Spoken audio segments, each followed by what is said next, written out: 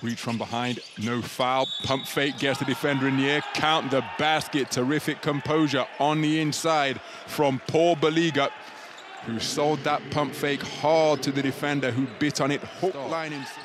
They're in a run of eight points without reply. They lead by 11 as the reverse field goal is good. Ross rotates the basketball to Makoundou. What a bounce pass feed, playing point forward. Yoan Makoundou. Ball down to the corner. Udom squeaking his way baseline, staying with him every step of the way is Yoan Makoundou. And then the three-quarter court he finished on the break by Petar Popovic. Now three out of three from downtown. His team lead by five. Cutting to the bucket and carrying Paul Biligha to the rack to pursue that basketball. And he does so on both ends of the floor.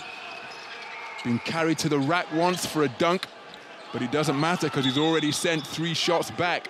Finish on the inside from Paul Biligha. Takes him to seven points in the game. And it's currently a one-man advantage as Fletcher Magee just getting back into the picture now. What a finish on the inside from Myles Stephens. Hanging in the air, the double clutch to evade. Ellis sees a seam, attacks and gets to the goal with fantastic athleticism. Mihailovic remaining on the floor with four fouls, kicks it back to the perimeter. Initiating the contact, getting the basket to fall and going to the free throw line. Looking to add one more will be McKinley Wright, the fourth. Makoundou.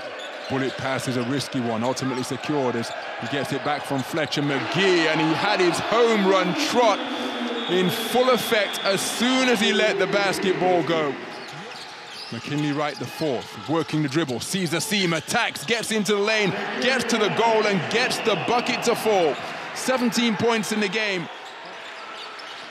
Looking to break the deadlock into the lane, rubbed out with a terrific defensive play by Kamar Baldwin, and we are going to overtime.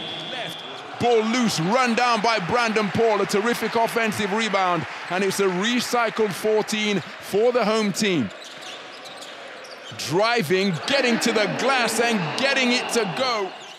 Three points to deficit, just over a minute remaining in the overtime period as Brandon Paul watches it, but what a follow from Yoan Makoundou.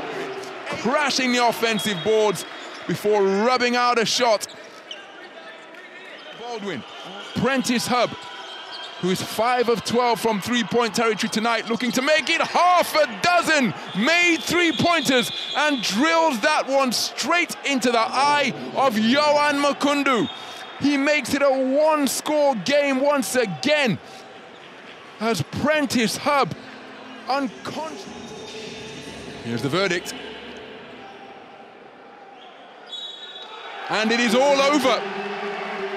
Budućnost Voli Podgorica emerging with an incredibly hard-fought overtime win over Dolomiti Energia Trento.